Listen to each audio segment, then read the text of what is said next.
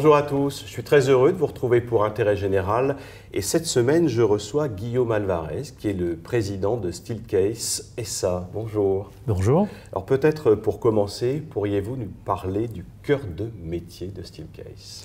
Alors notre cœur de métier c'est inventer et fabriquer des espaces de travail où on se sent bien, où on peut laisser euh, son potentiel s'exprimer grâce à l'amélioration du bien-être physique, émotionnel et cognitif. Et ça, ce sont vraiment trois enjeux majeurs dans l'entreprise et qui sont en cohérence avec l'intérêt général. Quel regard vous portez sur l'intérêt général?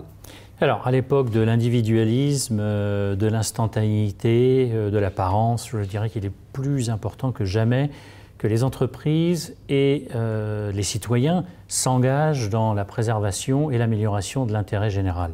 Alors, chez nous, chez Steelcase, au-delà de notre fondation et de nos équipes d'innovation sociale, nous encourageons nos collaborateurs à s'engager dans trois types de projets, euh, éducation, euh, diversité et environnement.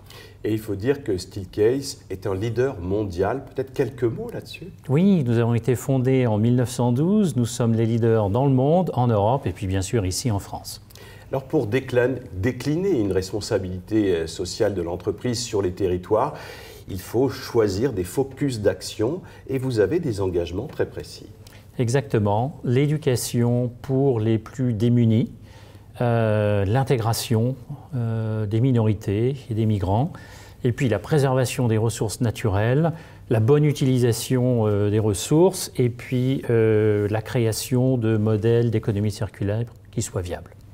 Les territoires, puisque vous nous regardez à travers les territoires de France, c'est aussi un enjeu qui est au cœur du dispositif hein, d'intérêt général de Steelcase, avec des usines où le Made in France est en trame de fond. Très important chez nous, puisque nous avons notre siège euh, Europe, Moyen-Orient, Afrique à Strasbourg depuis très longtemps. Nous sommes présents en France depuis 1972. Notre plus grande usine européenne est à Sarrebourg, euh, en Lorraine. Nous avons une plateforme européenne à Reims et bien sûr ici à Paris deux très grandes filiales, mais aussi une présence euh, dans les régions, à Lille, à Lyon euh, et dans de nombreuses villes de province en France. La fondation euh, Steelcase, parlons-en, elle est engagée et depuis un petit moment déjà. Effectivement, elle existe depuis 1951. Cette fondation a pour vocation d'encourager principalement des projets tournés autour de l'éducation, avec des dons chaque année de l'ordre de 5 millions.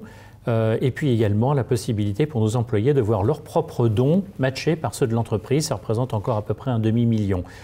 Le reste, à peu près 60%, est donc euh, versé dans des projets d'éducation, le reste, euh, des projets scientifiques, des projets sur l'environnement. Alors si je vous demandais, et c'est difficile parce qu'il y a des engagements qui s'incarnent sur les territoires dans différents champs, on vient de le voir, d'en choisir un à titre d'exemplarité pour qu'on comprenne bien.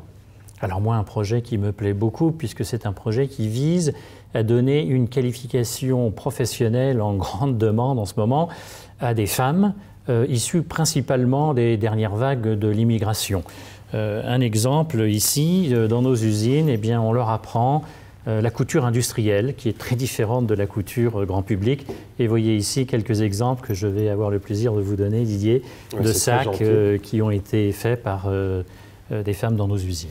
Donc là, il s'agit d'incarner l'engagement de Steelcase par offrir aussi une, formation tout à fait euh, particulière dans votre cœur de métier à ces femmes issues de l'immigration. Absolument, une formation résiliente, en grande demande, puisque euh, aussi bien en Europe de l'Ouest qu'en Amérique du Nord, ce type de qualification nous fait défaut dans l'industrie. Alors il faut savoir peut-être vous ne le savez pas, vous qui nous regardez, que Steelcase est engagé euh, depuis le début, bien avant que cela devienne tendance ou à la mode, sur les sujets de l'environnement. Exact, des valeurs d'entreprise qui remontent à plus de 40 ans, euh, avec la première, euh, protéger l'environnement, mais également des valeurs humaines, dire la vérité, promouvoir des relations positives. Donc depuis très longtemps, nous sommes engagés dans l'environnement avec des objectifs assez ambitieux, puisque dans les cinq dernières années, nous avons réduit notre utilisation d'eau dans le monde entier de 10%, d'énergie de 20%, euh, les déchets de 60% et les émissions dans l'atmosphère de plus de 80%.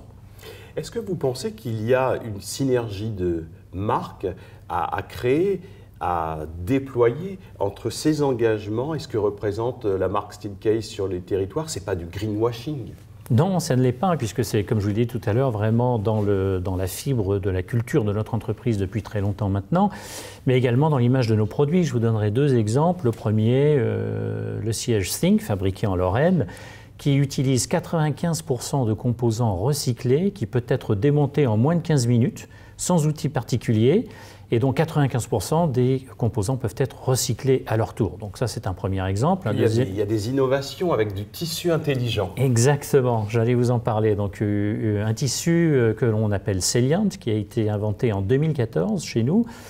On a pendant plus de 5 ans vraiment testé en profondeur l'impact de ce tissu pour bien comprendre comment ça fonctionnait et on le lance ce mois-ci. Donc ce tissu qui est assez particulier puisqu'il comprend des minéraux euh, comme l'oxyde d'aluminium par exemple, qui, grâce à leur présence dans le tissu, euh, émettent un tout petit élément d'infrarouge qui réchauffe notre corps de manière très agréable. le résultat, c'est que nos vaisseaux se dilatent de 8 à 10% de plus que de normal, ce qui provoque une impression de bien-être, euh, mais surtout qui augmente la circulation d'oxygène dans le corps avec un test que moi euh, j'aime particulièrement, le test du chien. Ah oui, quand le on chien, met... il fait son choix vers cette chaise. Exactement. Quand on met un tas de tissus traditionnels et un tas de tissus séliants, dans 100% des cas, euh, les chiens choisissent le tissu séliant pour y faire leur sieste. Guillaume Alvarez, ce que j'entends, c'est qu'il y a une conciliation possible entre ce que les anglo-saxons qualifient de business et le non-profit business. Finalement, ça peut être ensemble, ce n'est pas l'un ou l'autre. Clairement, c'est totalement intégré. Nous sommes euh, convaincus que l'authenticité doit être le moteur des activités de l'entreprise et aussi de l'engagement de nos employés. Donc euh, les projets sur lesquels nous nous sommes impliqués, par exemple euh, d'essayer d'éliminer, en France en particulier, c'est vraiment le, pays leader pour nous dans le monde entier, d'essayer d'éliminer euh, les déchets de mobilier de bureau à la fin de leur existence. Donc euh, depuis une dizaine d'années à peu près, nous avons recyclé plus de 60 000 postes de travail. Ça représente à peu près 600 tonnes de déchets qui ne sont pas arrivés dans des décharges. Et pour vous donner une idée du volume, ça fait à peu près 170 000 mètres cubes de meubles de bureau, ça fait 44 euh, piscines olympiques. Ah oui, donc c'est colossal. Pour terminer, peut-être caractériser un engagement par celui qui est le lien, les hommes et l'entreprise, 92 000 heures de bénévolat données par les collaborateurs Steelcase. Absolument, et dans de nombreux cas payés par l'entreprise quand c'est possible. Euh, ce qui nous a permis d'aider euh, à construire euh, des habitats pour des réfugiés, à participer à des projets pour combattre l'aridité des sols en Inde ou en Afrique.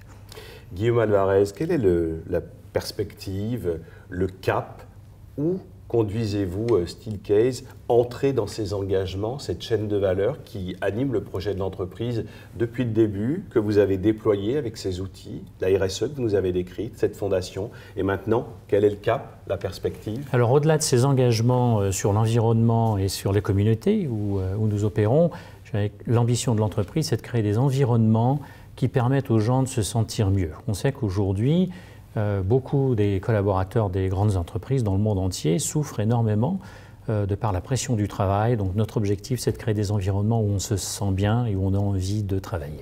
Merci. Nous aurons l'occasion euh, d'en reparler ensemble si vous voulez bien. Merci de nous avoir accordé cet entretien. Merci à vous. Et à, vous toutes, à vous tous, je vous retrouverai la semaine prochaine pour un autre numéro d'intérêt général. Au revoir et bonne semaine.